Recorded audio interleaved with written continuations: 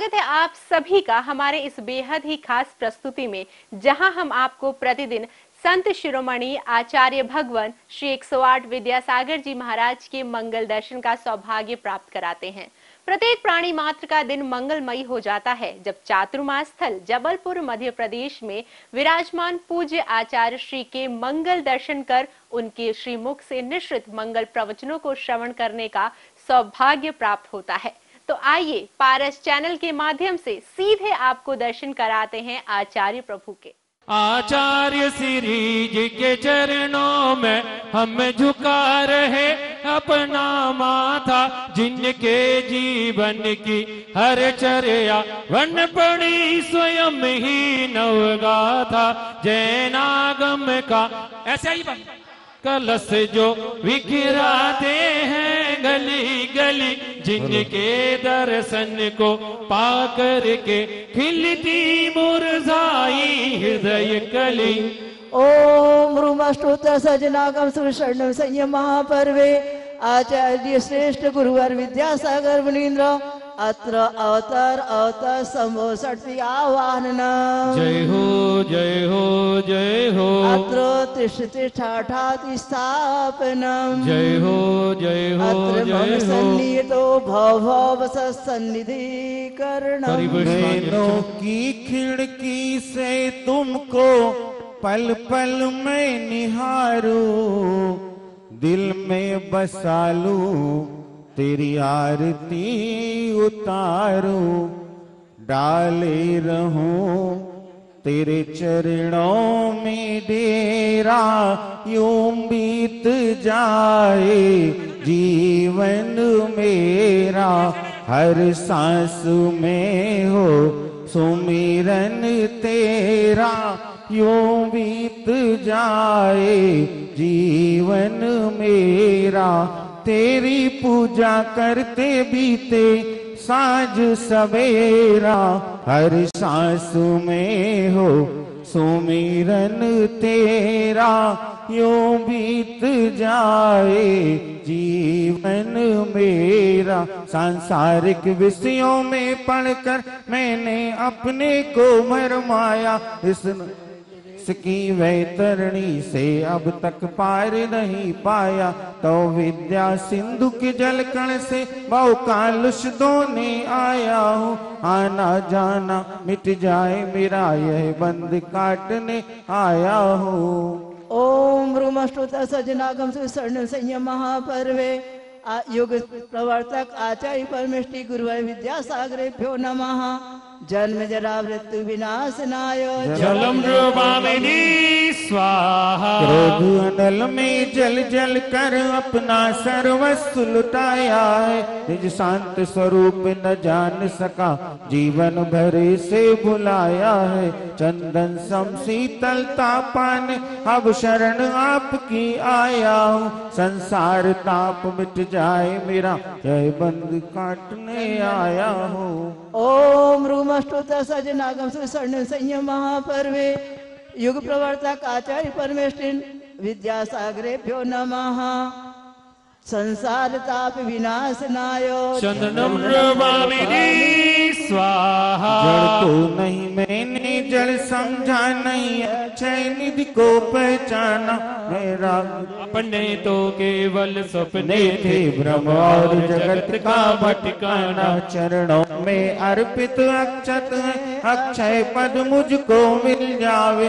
तब ज्ञान अरुण की किरणों से यह हृदय कमल भी खिल जावे। ओम रूमष्टोत्तर सजनागम सुषण संयम महापर्वे। युग प्रवर्तक आचार्य परमेष्टि गुरु विद्यासागरेभ्यो नमः। संसार ताप विनाशना अक्षय पद प्राप्त है अक्षता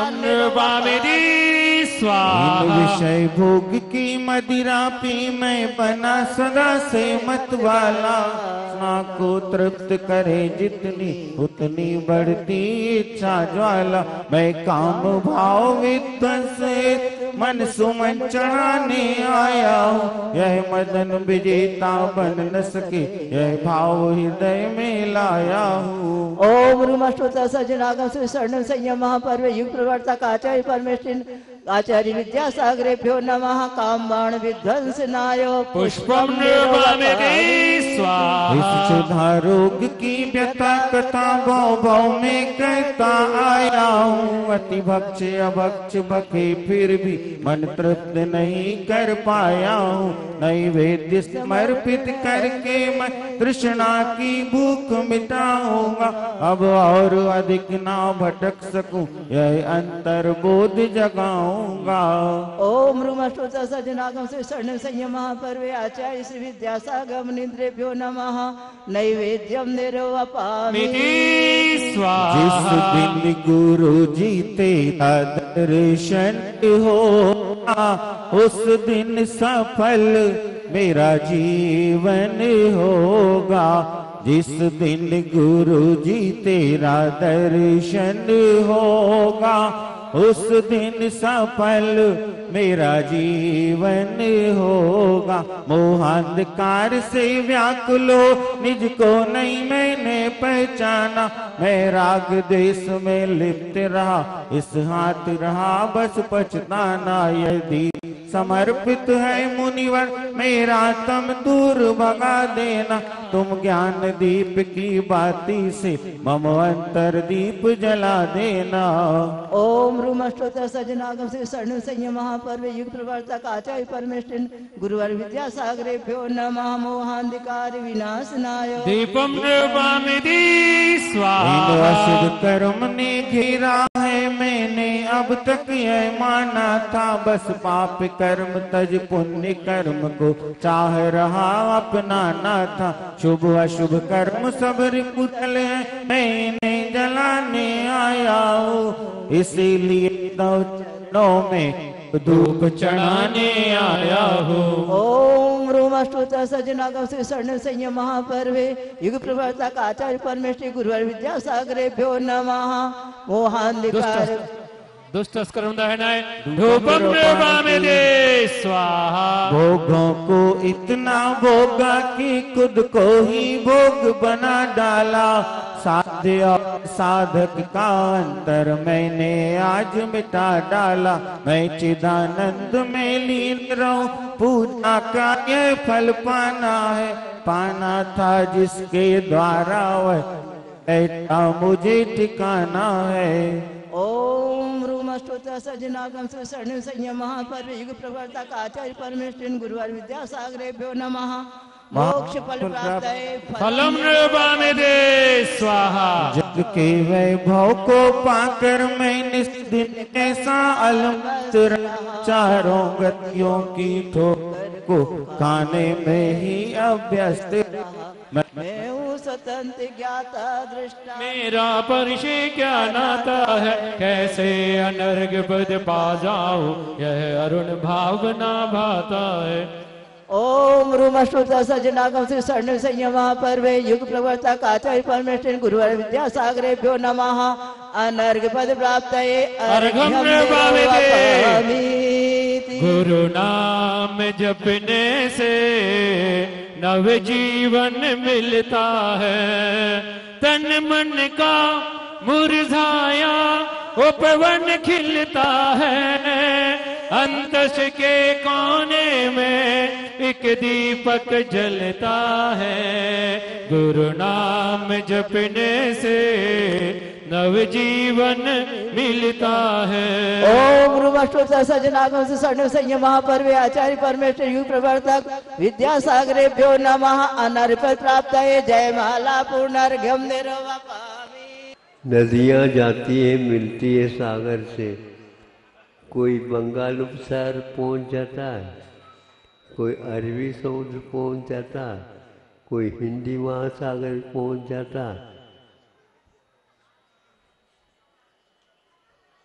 किंतु नदियाँ कभी पहाड़ की ओर नहीं बढ़ती। सागर तो जा ही नहीं सकता है लेकिन नदियाँ, पहाड़ चढ़ जाए।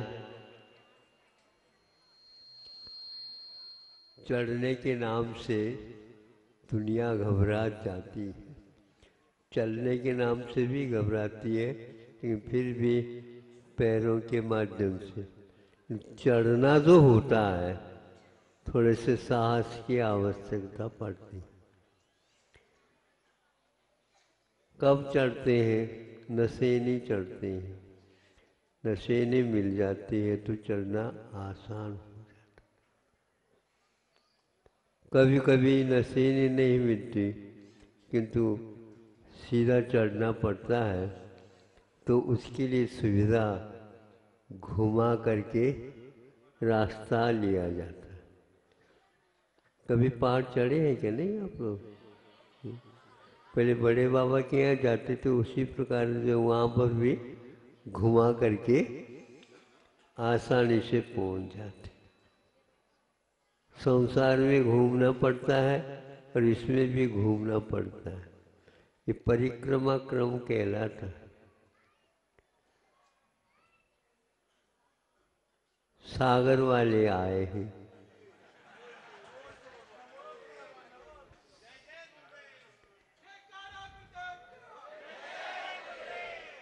साथ में सागर को भी ले आए।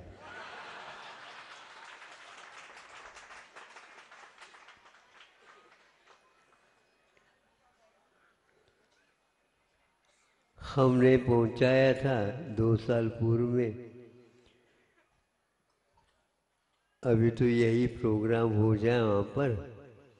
अभी चातुर्मास की बात नहीं करना।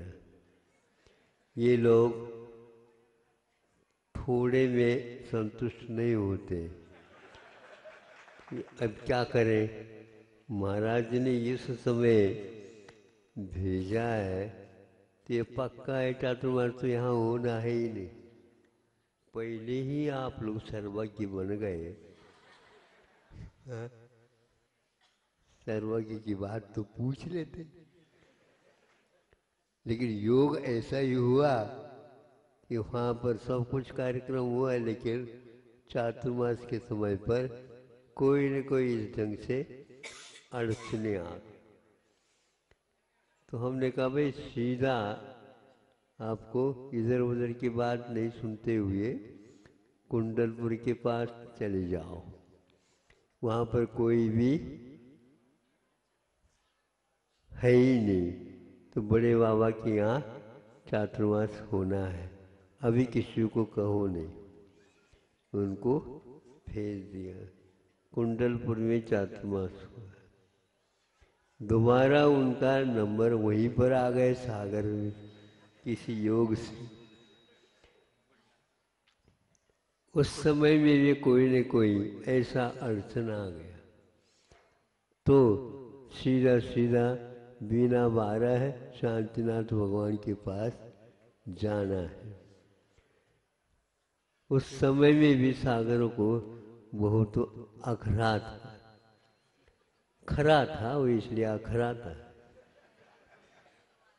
उसके सामने कोई किसी का चलता नहीं।